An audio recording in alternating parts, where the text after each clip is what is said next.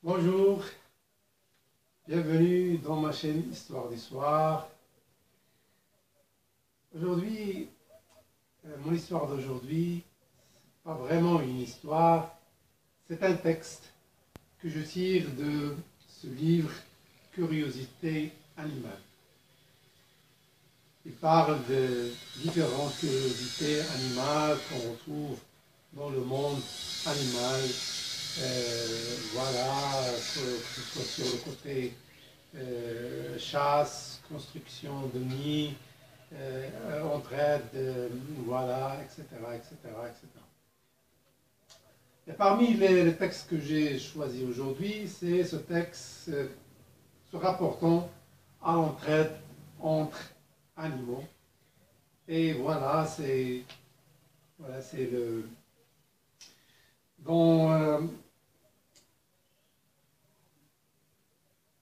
Donc, euh, je vais vous lire le texte.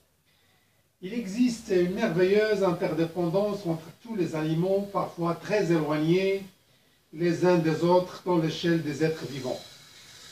En Afrique, une douzaine d'espèces oiseaux pondent comme le coucou un œuf dans le nid des autres oiseaux. L'un d'entre eux est un insectivore de la grosseur d'un moineau mais qui a la faculté de pouvoir absorber et digérer la cire des abeilles qu'il aime par-dessus tout. Mais les nids d'abeilles, mais les nids d'abeilles sauvages sont construits souvent hors, hors de sa portée, dans les creux d'un arbre ou dans la terre. Et il a besoin de l'aide d'un autre animal friand de miel et capable d'éventrer la ruche. Il cherche donc un ratel. Voilà, le ratel, c'est celui-là. Il cherche donc un ratel et le conduit vers le nid d'abeilles en poussant des cris perçants. Le ratel ressemble à un gros blaireau, comme je vous ai montré, armé de griffes puissantes aux pattes antérieures. Il se nourrit de toutes sorte de petites proies, proies et de jeunes antilopes.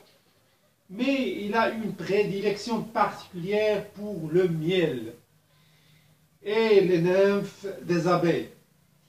Aussi, suit-il sans hésiter le petit indicateur qui est ce, ce oiseau, le petit indicateur vers sa découverte. Avec ses longues griffes il extirpe les rayons de cire de leur trou et se gave de miel sans s'inquiéter des piqûres des abeilles furieuses. Puis il s'en va en laissant quelques rayons de cire à son, petit compagnon ailé.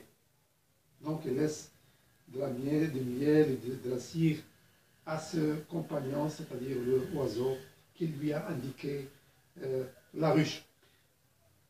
Et c'est également en Afrique vivent les guépiers écarlates. Voilà, c'est les guépiers écarlates. Euh, ils se perchent, ils se perchent souvent sur le dos de l'otarde cori. Voilà, c'est l'otarde cori. Ils se perchent et capturent au passage les insectes que l'oiseau chasse. De même, les pics-bœufs, les pics-bœufs débarrassent les herbes, voilà, voilà les pics-bœufs, voilà les herbes. De même, les pics-bœufs débarrassent les herbes et les antilopes des tiques qui se gorgent de leur sang et leur signalent les dangers. Voilà, euh, comme vous le voyez, donc euh, c'est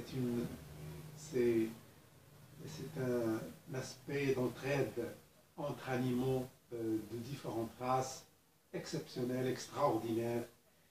Et voilà que nous devons nous inspirer, nous humains, pour nos actions d'entraide pour nos actions d'entraide et aussi de collaboration fructueuses les uns envers les autres. Merci beaucoup. À très bientôt.